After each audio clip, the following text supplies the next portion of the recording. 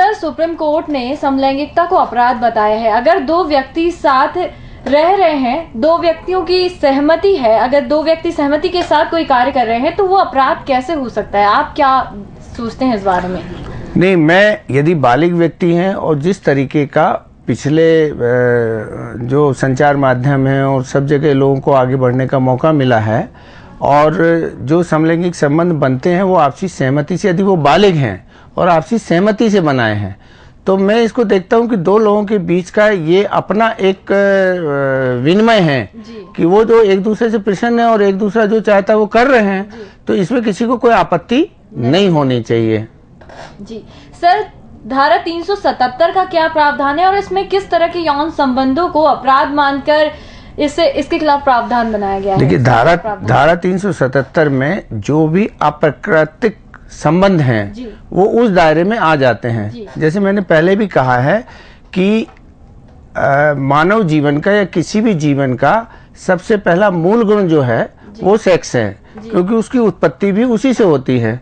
और आप जानवरों को भी देखेंगे पशु पक्षियों को भी देखेंगे कीट पतंगों को भी देखेंगे एक स्वाभाविक मन से निकलने वाली क्रिया है जो इस तरीके के संबंधों का आधार बनती है।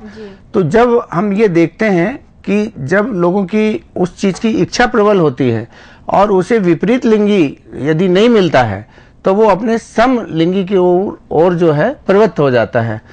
तो इसमें जब वो समलिंगी भी नहीं मिलता है तो कई ऐसे उदाहरण इतिहास में भरे पड़े हैं, पुराण में भरे पड़े हैं, कि जब लोग जानवरों तक के साथ इस तरीके के संबंध बना लेते हैं तो इन संबंधों को 377 में अपराध माना गया है लेकिन ये ज़बरदस्ती बनाए जाते हैं।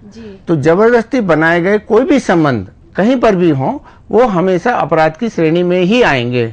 लेकिन जहाँ ज़बरदस्ती नहीं है बालिग हैं और सहमति है तो ऐसी स्थिति में फिर हम उन्हें और वो समाज को अपने संबंधों से परेशान भी नहीं कर रहे हैं। यदि हमारी सामाजिक व्यवस्था में वो हमको परेशान करने लगे कोई ऐसा आचरण करें जो सामाजिक व्यवस्था के अनुरूप नहीं है तो तो उन पे दूसरी भी धाराएँ हैं दूसरे भी मामले हैं जिन पे उन पे कार्रवाई की जा सकती है। लेकिन वो जो अधिकार मांग रहे हैं तो कहीं मुझे लगता है कि जो वर्तमान में हमारी विकास के क्रम में हम जा रहे हैं तो उनकी बात भी गलत नहीं है। सर तो फिर आपके हिसाब से आपको क्या लगता है धारा 377 का प्रावधान भारतीय दंड संहिता में होना चाहिए या फिर नहीं? नहीं 377 का प्रावधान तो हमेशा रहेगा और होना भी चाहिए। तो वो जैसे आप देखें बच्चों के साथ कई लोग यौन संबंध बना लेते हैं कई बार जानवरों के साथ बना लेते हैं या कई बार इस तरीके के ज़बरदस्ती संबंध बनाते हैं, जिनको हम अपराध की श्रेणी में ही रखेंगे।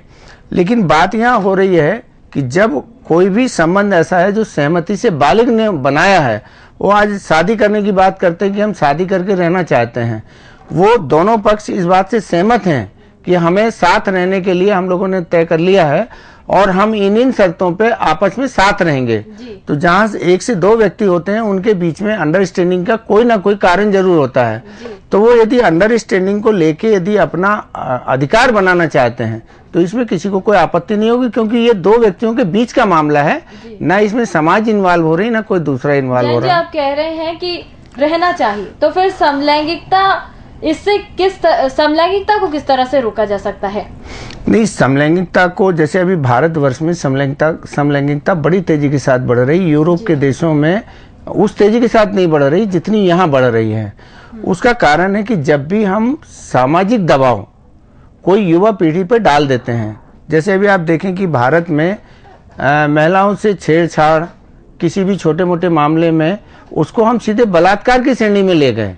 जबकि ये तो एक स्वाभाविक प्रक्रिया है कि कोई ना कोई तो पहल करेगा। अब उस पहल को भी हम उसको इतने बड़े अपराध के रूप में ले जाएँ तो उससे एक मानसिक दबाव युवा पीढ़ी के ऊपर पड़ रहा है। दूसरा आज युवा पीढ़ी अपने परिवार से दूर रह के केवल अपने करियर और अपनी पढ़ाई की बात कर रही है। तो उसके ऊपर इतना मानसिक दबाव है कि वो उसके अलावा कुछ सोचते ही नहीं है।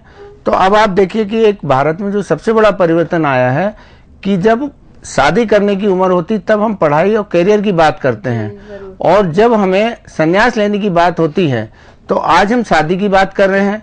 तो यहाँ पर 35 साल के बाद शादियों का चलन पढ़े लिखे लोगों के बीच में बहुत तेज़ी के साथ हो रहा है। जब तक वो सोचते हैं कि हमारा करियर नहीं बन जाएगा हम शादी नहीं करेंगे जबकि ये स्वाभाविक प्रक्रिया उनकी 16-18 साल की उम्र से जो शारीरिक परिवर्तन शुरू होते हैं उसके बाद से इनकी स्वाभाविक इच्छा होती है। तो कोई भी आदमी कितने साल तक कैसे इन सारी इच्छाओं को रोक सकता है? फिर विपरीत लिंगी को लेकर जो कानून बने हुए हैं भारत में खासतौर से महिलाओं को लेके तो वो युवाओं को बहुत ज़्यादा आपस में परेशान कर रहे हैं।